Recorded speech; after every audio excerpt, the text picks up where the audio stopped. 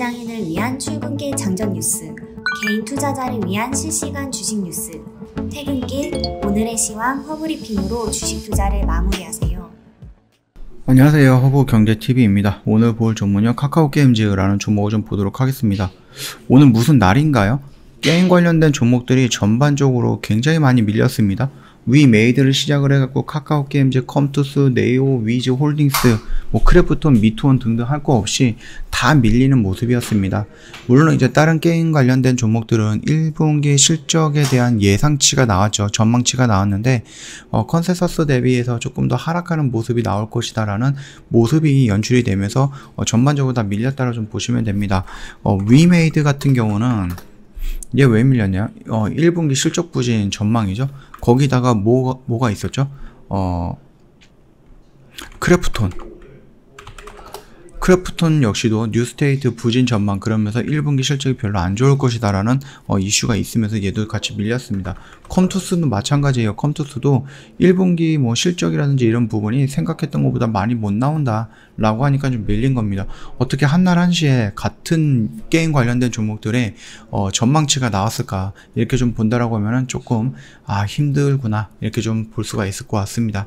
카카오 게임즈 같은 경우는요 뭐 실적 전망이라든지 이런 부분 나오지는 않 았습니다. 근데 오늘 어, 좀 많이 밀렸죠. 8% 정도까지 밀렸는데 뭐 일단은 좀 나오고 있는 모습에 대해서는 자회사 어, 오딘을 만들었던 자회사 라이온아트 스튜디오가 상장을 한다. 상장을 추진한다. 이런 이슈가 나오면서 어, 단기적인 악재로 인해서 좀 반영이 된 것 같습니다. 그러면서 뭐 올해 최대 실적으로 올리긴 했는데요. 어, 지난해 연결 기준으로 해서 매출액이 1조가 넘었고요. 영업이익이 1,100억이 넘었죠. 그러면서 꽤 많이 올라갔던 부분이었는데 이거를 만들었던 라이온아트 스튜디오가 어, 상장을 추진한다라는 부분에 의해서 단기적으로 좀 주춤하는 모습 나온 것이다라고 생각이 되고 있습니다. 다만 그런 것 치고는 너무 많이 밀렸다라고 좀 볼 수가 있어요. 오늘 무려 8% 가까이 밀리면서 지지 라인을 다 이탈을 해버릴 뻔한 그런 상황까지 연출했습니다.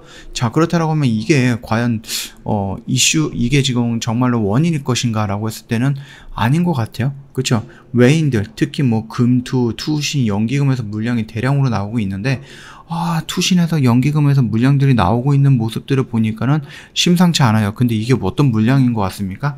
오버행 물량이겠죠. 예, 급락하는 카카오 게임즈 정말 오버행 부담이 없었나 라는 이슈가 나왔습니다. 아니나 다를까 우리가 3월 20, 3월 31일이죠.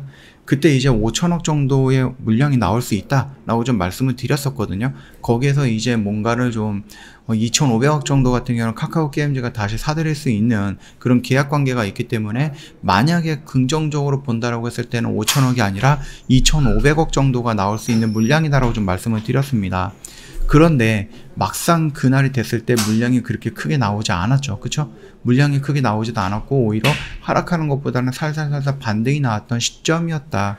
그러나 어, 지수의 하락이라든지 뭐 여러 가지 이슈로 인해서 물량이 나올 때 아, 그러면 얘네들 여기까지 올라가는 거 어, 어 려, 시간이 조금 걸리겠구나라고 어, 생각을 했던 것 같아요. 그렇기 때문에 지금 팔아도 수익이니까 그냥 팔자.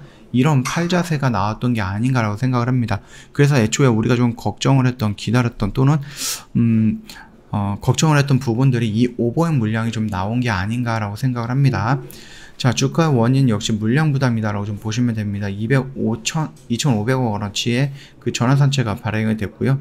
지금 당장 매도를 해도 수익 구간이기 때문에 어, 물량들이 나오고 있다라고 좀 보시면 됩니다. 그 물량들이 뭐 투신, 연기금, 사모, 펀드, 금투, 뭐 외국인 물량 할 거 없이 다 나왔다라고 좀 보시면 될 것 같거든요. 그래서 오늘 약 거래 대금이 한 1,700억 정도가 형성이 됐는데 물론 이제 나올 수 있는 물량들이 한꺼번에 다 나온 거는 아닙니다.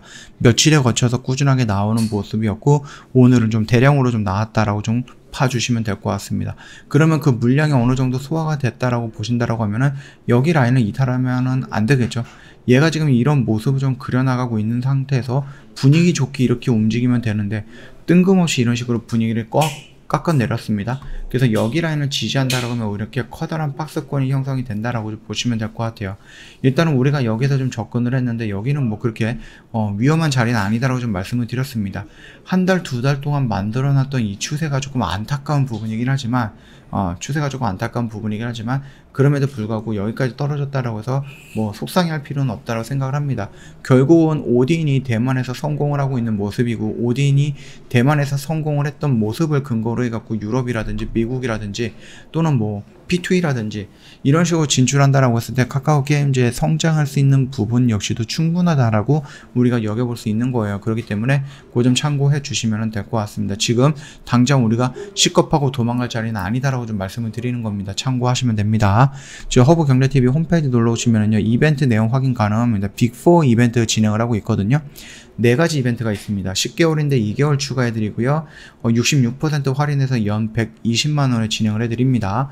어, 방송 단기 매매 체험권도 증정을 해드리고 있고요. 그 다음에 허브경제TV가 찾아간다라는 서비스를 안내를 해드리고 있는데 이거 같은 경우는 회원님들 좀 저희랑 뭐 손잡기 전에 개별적으로 매매를 했던 아니면 다른 데서 도움을 받아서 매매를 했던 간에 물려있는 종목들 있잖아요. 이것들 내가 어떻게 처리를 해야 될 것인가라고 궁금하거나 아니면 이거를 대응 못 하시는 분들이 있을 겁니다. 그것들을 저희가 어떻게 어떻게 해야 된다라고 1대1로 설명을 드릴 건데 영상 촬영을 통해 갖고 영상 브리핑을 만들어서 보내드릴 겁니다. 이런 서비스도 저희가 직접 진행을 해드린다라고 생각을 하시면 될 것 같고요. 언제든지 저희한테 문의하실 거 있으면요. 카톡 친구 추가 하신 다음에 문의 남겨주시면 돼요.